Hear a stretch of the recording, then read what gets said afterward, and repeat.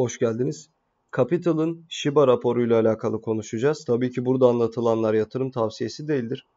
Kimseye al ya da sat demiyoruz. Karnınızdan da zararınızdan da sorumlusunuz. Abone olup videoyu beğenmenizi rica ediyorum. Şimdiden çok teşekkür ederim. Evet. Şimdi e, arkadaşlar bazen şey yapıyorum ya böyle konuşurken başlangıçta şu kısma dalıyorum. Konuşurken bir yandan okuyorum. E, öyle olunca da sonra bir boşluğa düşüyorum. Kusura bakmayın. Şimdi Capital.com'un arkadaşlar yapmış olduğu rapor sonucu aslında e, ileriye yönelik Shiba ile alakalı çok fazla şey yapıyorlar. E, rapor hazırlıyorlar. Tıpkı Wild States gibi tabi çalışma ortamları e, farklı. Onlar daha çok cüzdan hareketleriyle ilgileniyor.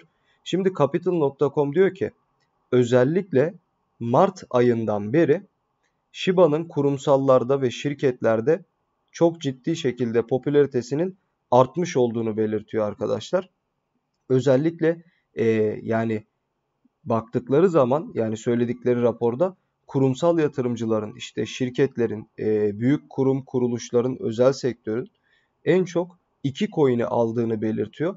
Bunlardan bir tanesi Doge, bir tanesi de Shiba arkadaşlar. Özellikle dediğim gibi Mart'tan beri çok ciddi şekilde bir e, Shiba'da artış var. Ve bu bizim için çok önemli. Neden çok önemli? Arkadaşlar bizim en nihayetinde önce buralardan başlamamız gerekiyor.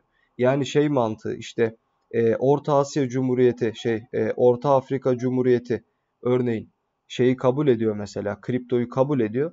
E kimisi diyor ki ya sanki ABD kabul etti. Ya kardeşim ne alakası var? Bir yerden başlayacaksın. Yani şey mi yapalım? Bir anda bütün dünyaya kabul nasıl ettirebiliriz? İnternet kadar şu an bütün dünyayı saran bir sistem bile dünyanın adapte olması ve ülkelerin, devletlerin kabulü yıllar sürdü. Bilgisayar, telefon bunlar yıllar sürdü kabul etmesi e, devletlerin işte dünyada yayılması. Kim hadi şimdi ABD'ye kabul ettirecek? Yani aynı mantık.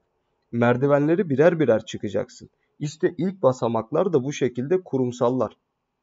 Böyle böyle bu kabuller, bu yatırımlar, bu ödeme seçeneği olarak açılmalar sonucunda kripto piyasası her geçen gün daha da ilerliyor. CZ'nin de geçenlerde bahsettiği e, gibi. Ki bunun Shiba olması yani özellikle Shiba tutuluyor olması da tabii ki şu yorumu yapmamızı sağlıyor. Shiba'nın da diğer coinlerden e, bir farkı var. Bir demek ki bir önceliği var. Mesela Matic'i de çok tercih ediyorlar. Solana'yı acayip tercih ediyorlar. Anlatabiliyor muyum? Ama mesela Shiba onların ilerisinde.